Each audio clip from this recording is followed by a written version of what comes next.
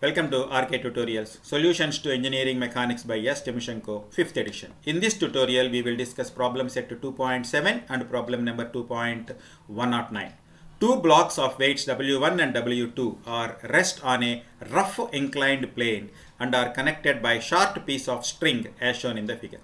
If the coefficient of frictions are mu1 is 0.2 and mu2 is 0.3 respectively, Find the angle of inclination of the plane for which sliding will impend. W1, W2 values are given as 22.25 newtons. Now the problem is self-explanatory. I would like to find the value of alpha such that the sliding will just will impending. And the coefficient of frictions here it is 0.2 and here it is 0.3. Now let us draw the free body diagrams for W1 W2 both. First let us draw the free body diagram for W2. Now the various forces acting on W2 is the self weight and there is a normal reaction, there is a frictional force and a tension in the string. Now clearly we can see there is normal reaction, let that normal reaction is N2 and the frictional force is mu into N and mu value is given as 0.3. So 0.3 into N2 and there is a tension in the string T and of course the self weight W2. Let us transfer all those forces into separate XY plane. So I will find W2 is downwards direction and 0.3 into N2 along this one and tension T to are collinear in fact both are acting in the same line and next one the reaction force that is N2. Given that now let us find the angle.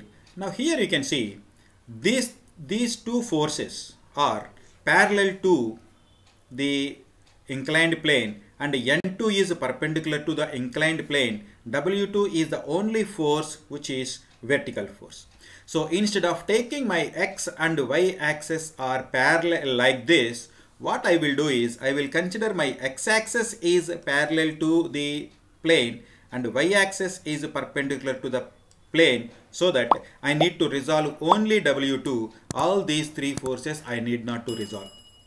Now, you know this value is given as alpha, hence this value becomes 90 minus alpha. So what I will do is I will resolve this W2 parallel to the surface and perpendicular to the surface. Now look at this. So I will consider this axis, I will consider this axis is my x-axis and this axis I will consider my y-axis.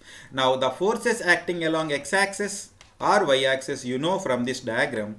So along x-axis it is point through N2 and it is T and then along y-axis it is N2.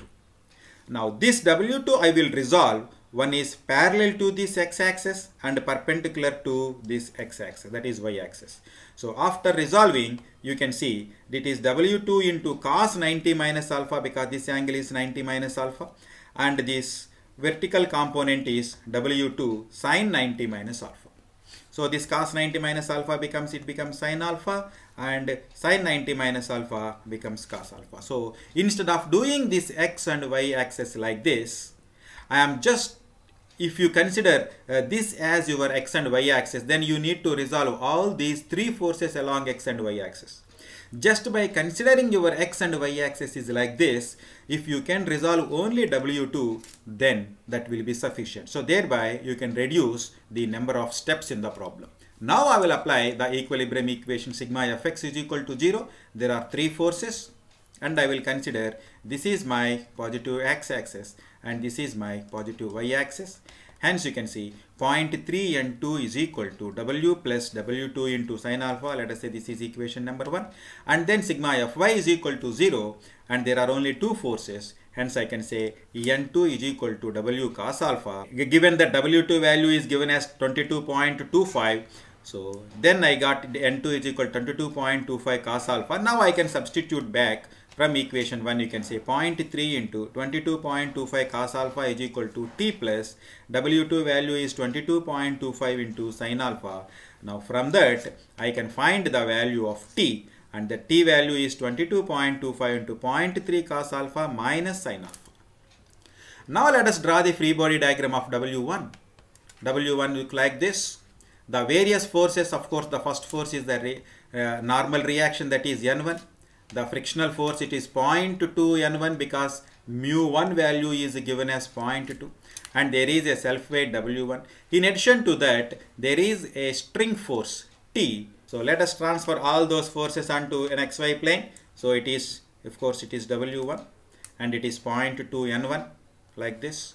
And then t is also acting in the same direction. Okay n1 is perpendicular to this and then t is this one now once again if you observe there are three forces acting uh, along this one and perpendicular to this this one. And there is only one force which is not acting this one. So in this problem also I will consider this is my x-axis and this is my y-axis so that if I can resolve this W1 then that will be sufficient. So for that I required the angle made by W1 with either this axis. Now uh, you know this axis this angle is 90 minus alpha so I can resolve my w1 like this and like this. Now this is my new x-axis now the forces are 0.2 n1 and t and the y-axis that is n1 now uh, let us come to w1 w1 the x-axis component w1 cos 90 minus alpha y-axis component w1 sin 90 minus alpha. So this is my the total forces after resolution. Then I will apply sigma fx0 and sigma fy0 I will consider this is my positive x-axis and this is the positive. Now so 0.2 n1 plus t is equal to w1 into sine alpha that is equation number 4 and sigma fy is equal to 0 you can say n1 is equal to w1 into cos alpha but you know w1 is equal to 22.25 hence n1 is equal to 22.25 into cos alpha. You can substitute back. You also know the value of t. So 0.2 into n1 value is 22.25 cos alpha plus t is equal to 22.25 into sin alpha. From that I can find the value of t. Now from equation 3 uh, I have got one more equation for t. I will equate both from equation 3 and 6. Both, uh, both the equations gives only the t, then I will equate that. So 22.25 sin alpha minus 0.2 cos alpha is equal to 22.25 into 0.3 cos alpha minus sin alpha and you can simplify very easily because there is only one equation and there is only one unknown. So after simplification you will get 2 sin alpha is equal to 0.5 into cos alpha that you can convert into tan alpha is equal to 0.25 and hence alpha is equal to 14.04 degrees. So this is the answer for the given problem.